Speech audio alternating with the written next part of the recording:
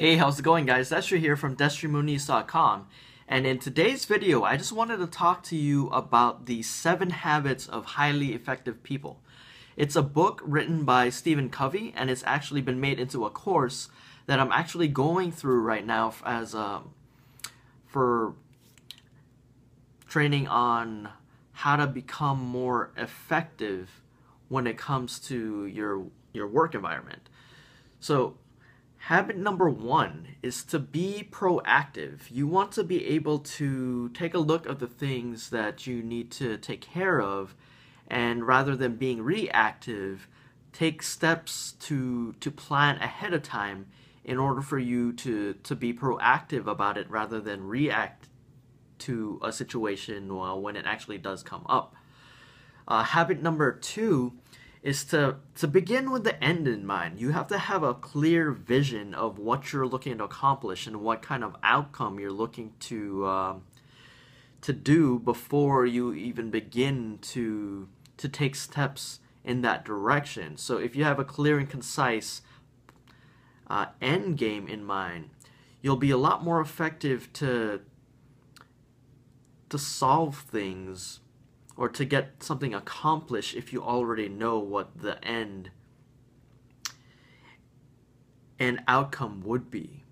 So, habit number three is to put first things first. Um, he, Stephen Covey talks about putting your, your big rocks first, meaning take care of your, your larger priorities and set some time and schedule it accordingly before um, handling the the little things that come in life, like um, you know, any s- small emails or customer visits or things that just pop up throughout the week that you don't have to take care of right away, but it is important.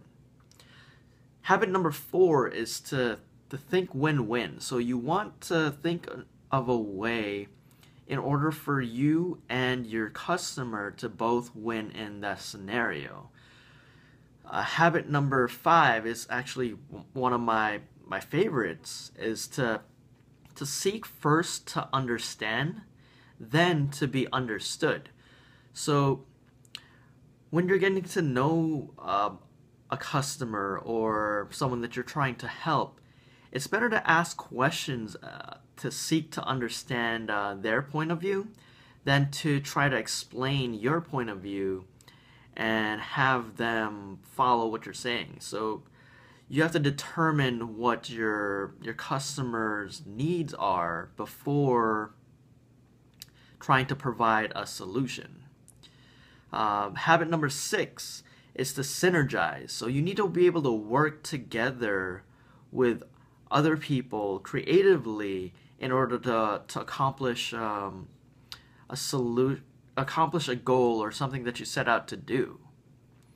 And habit number seven is to sharpen the saw.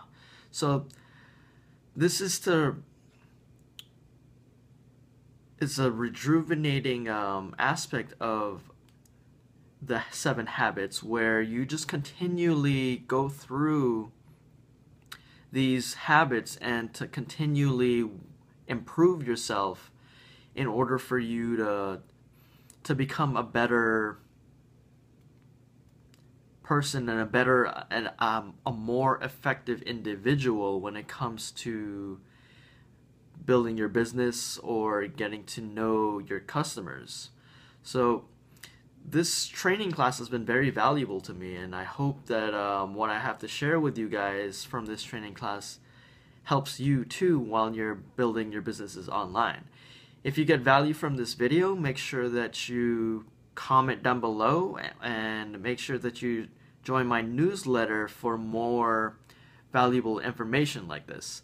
So that's what I had to share with you guys today. Hope you get some value from it, and I'll catch you guys in another video.